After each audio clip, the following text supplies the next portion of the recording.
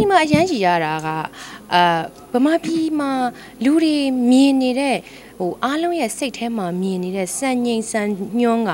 ဘာဖြစ်နေလဲဆိုလို့ရှိရင်အာမြန်မာမိန်းကလေးတွေကဖြူဖွေးနေရမယ်ပြီးလို့ရှိရင်ကိုယ်လုံးတွေကလည်းလှနေရမယ်အဲသူတို့မျက်လုံးထဲမှာအယုံမတွေလို့ထင်နေကြတယ်ဒါပေမဲ့တကယ်တမ်းကမြန်မာပြည်မှာအဲ့လိုမျိုးရှိတယ်လူဘယ်နှယောက်ရှိလို့လဲ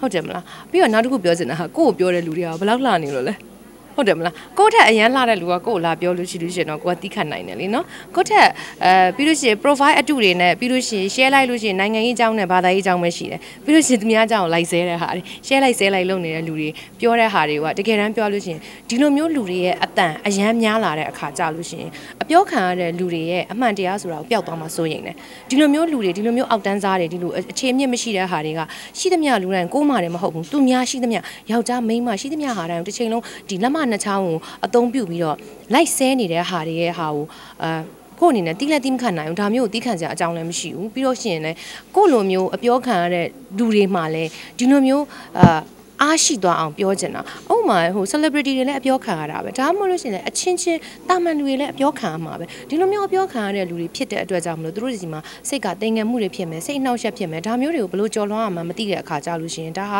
ဒါတကယ် cyber bully ပဲလေ။ဟုတ်တယ်မလား။ကိုယ့်ကိုယ်ခန္ဓာမှာကိုဘာကြီးပဲဖြစ်နေဖြစ်နေဟို ဘသူဘသူရဲ့ထောက်ခံချက်မှလည်းယူစရာမလိုဘသူရဲ့ခွင့်ပြုချက်မှလည်းယူစရာမလိုကိုကိုခန္ဓာကိုဘာကိုစိုက်တာလုပ်လို့ရတယ်လူဆိုတာပုတ်တယ်ရှည်တယ်ပိန်တယ်ဝါတယ်စိုက်စုံလာတာကိုသူတို့တွေအားလုံးကဘာနဲ့ပဲမှသူတို့ရဲ့စံချိန်စံညွန်းတစ်ခုတည်းနဲ့ပဲတိုင်းတာပြီးတော့လူတိုင်းကိုလိုက်ပြောနေကြတာလေအဲ့ဒါကိုတော့အတိမခံနိုင်ဘူး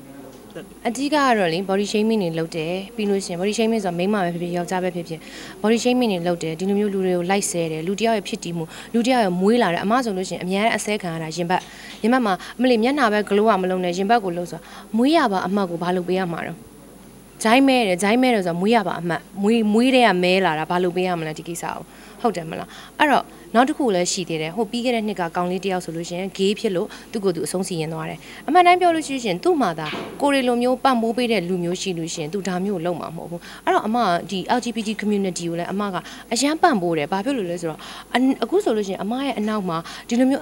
LGBT community တွေအများကြီးရှိတယ်ဆိုတော့ဘာလဲဆိုတော့ကိုသူတို့ကိုအားပေးမှန်းသိလို့သူတို့ကိုအားပေးတဲ့လူတယောက်လောက်ရှိနေတယ်ဆိုလို့ရှိရင်ဒီလိုမျိုးကိုကိုကိုအဆုံးစီရင်တာတွေဒီပတ်ဝန်းကျင်ကလက်မခံလို့ကိုကိုကိုအာဒါဟာကိုဒီလိုအပ်ချက်တစ်ခုရှိနေလားကိုယ့်ရဲ့ဒါအမှားလားဆိုပြီးတော့ဒီလိုမျိုးထင်သွားပြီးတော့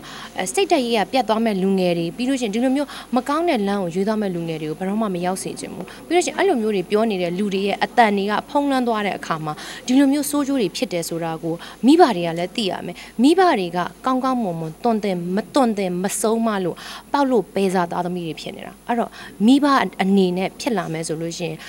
ကိုယ့်ရဲ့မိဘလုံရမယ့်တာဝန်ဝတ္တရားတွေကိုကြည်ကြည်မြုံမြုံလုပ်ကြပါပြီးလို့ရှိရင်ယဉ်ကျေးတဲ့ဗုဒ္ဓဘာသာမြန်မာလူမျိုးဆိုတဲ့စကားလုံးကြီးကိုခဏခဏမသုံးပါနဲ့မယဉ်ကျေးကြပါဘူးအရန်ရိုင်းကြပါတယ်ဘလို့လဲဆိုတာကို Facebook မှာကြည့်ရင်ကိုသိတာပါတယ်အဲ့တော့ဆဲတဲ့ comment နဲ့အကောင့်ပြောတဲ့ comment နဲ့ဘယ်ဟာတွေပုံများလဲဆိုတာကိုကြည့်လိုက်လို့ရှိရင်သိတယ်ဘာလို့ဆိုတော့အရန်အားနေကြတယ်အလုံးမရှိအကင်မရှိပြီးတော့ဒီလိုမျိုးဒီလိုမျိုးကြက်တဲခတ်ခဲတဲ့အချိန်ကြီးမှာပို့ပြီးတော့အလုံးမရှိအကင်မရှိပြီးလို့ရှိရင်စိတ်ထွက်ပေါက်တွေကိုရှာတဲ့အခါမှာဒီလိုမျိုးအောက်တန်းကြတဲ့အလွယ်အကူနီးတွေကိုရွေးကြတယ်ဒါကြောင့်မလို့ဖြစ်တာပါဒါပေမဲ့ပညာနဲ့ရှင်ပြီးတော့ရွေးစေချင်ပါတယ်ပညာနဲ့ရှင်ပြီးတော့တွေးစေချင်ပါတယ်ပညာနဲ့ရှင်တဲ့ဟာတွေအားလုံးက